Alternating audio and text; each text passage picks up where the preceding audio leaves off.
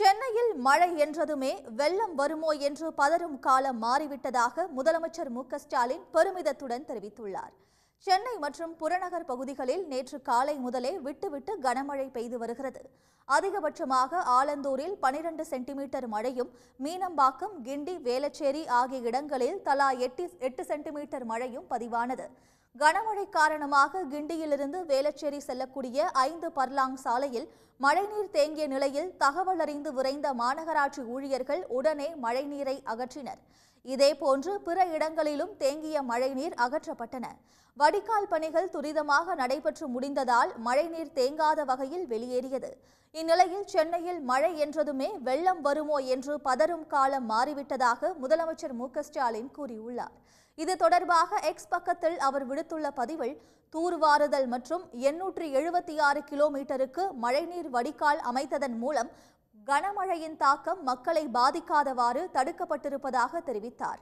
அடுத்த சில நாட்களுக்கு கனமழை பெய்யும் என்று எச்சரிக்கை விடுக்கப்பட்டுள்ள நிலையில் அமைச்சர்கள் மாநகராட்சி ஊழியர்கள் உள்ளிட்ட அனைவரும் களத்தில் மக்களுக்கு துணை நின்று பணியாற்றிடவும் மக்களுக்கு சிறு இன்னல் கூட ஏற்படாமல் தடுக்கவும் அரசு நடவடிக்கை எடுத்துள்ளது என்று முதலமைச்சர் குறிப்பிட்டுள்ளார். இதனிடையே சென்னையில் எவ்வளவு கனமழை பெய்தாலும் எந்த இடத்திலும் மழைநீர் தேங்காத அளவுக்கு நடவடிக்கை எடுக்கப்பட்டிருப்பதாக அமைச்சர் கே என் நேரு தெரிவித்துள்ளார். சென்னை மாநகராட்சி ரிபன் கட்டடத்தில் உள்ள ஒருங்கிணைந்த கட்டுப்பாட்டு மையத்தை அமைச்சர்கள் கே என் நேரு சேகர்பாபு உள்ளிட்டோர் ஆய்வு செய்தனர். பின்னர் செய்தியாளர்களிடம் பேசிய அமைச்சர் K. N. Nehru Guindy racecourse மைதானத்தில் தேங்கிய மழைநீரை மாநகராட்சி முன் அனுமதி பெறாமல் வெளியேற்றியதால் வேலச்சேரி பகுதியில் மழைநீர் தேங்கியதாக கூறினார். வடகிழக்கு பருவமழையை எதிர்கொள்ள அடிப்படை பணிகள் தயாராக உள்ளது என்றும் மெட்ரோ வாட்டர் பணியாளர்கள் இரண்டாயிரம் பேரும் களத்தில் இருப்பதாகவும் அமைச்சர் கே. என். நேரு தெரிவித்துள்ளார். இதை விட கூடுதலாக மழை பெய்த பெய்யும் போது கூட எல்லா இடங்களிலும் தண்ணீர் தேங்கினால் ஒரு மணி நேரத்தில் அதை அகற்றுவதற்குரிய அனைத்து நடவடிக்கைகளும் எடுக்கப்பட்டிருக்கிறது.